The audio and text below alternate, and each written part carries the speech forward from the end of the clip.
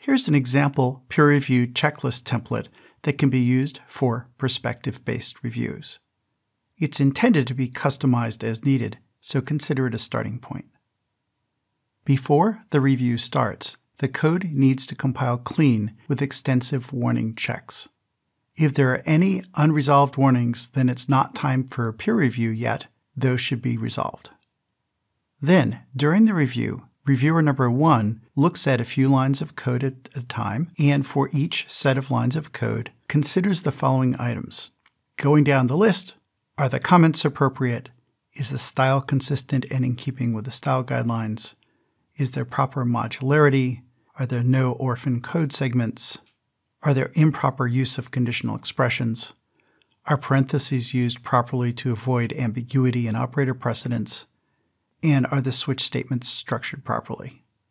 Some of these items might be able to be checked by static analysis, and to the degree that your static analysis tools support that, it's okay to take those items off this list and replace them with other items that matter to you.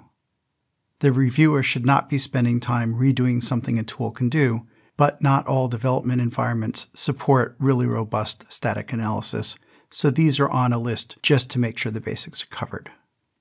As Reviewer 1 is looking at a handful of lines of code and going down the first seven items, Reviewer 2 is looking at the next set of items. Reviewer number 2 is asking, is there a single point of exit from each function? Does the looping structure make sense? Does the code avoid deeply nested conditionals? Is the complexity of the code acceptable?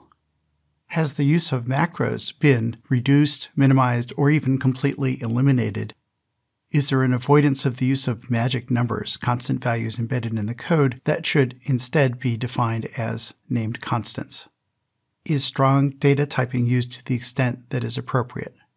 And do all the variables have well chosen names, and are they initialized at or near definition and again, the initialization is something your tool might be able to handle for you.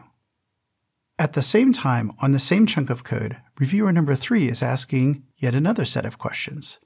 Reviewer number three is looking at whether or not the variables and functions have the minimum scope and essentially no global variables, whether concurrency issues have been addressed, whether input parameters have been checked, whether error handling works, whether exceptions such as null pointers, division by zero, null strings, boundary conditions have all been handled properly, whether there are any floating point issues, especially with NaN numbers and infinities, and buffer overflows.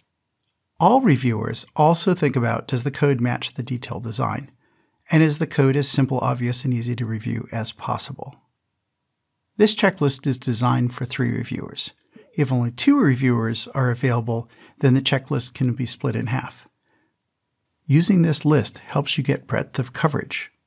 If all three reviewers use a different portion of the checklist, they'll have a better, broader perspective and therefore are more likely to find defects in the code during the review process.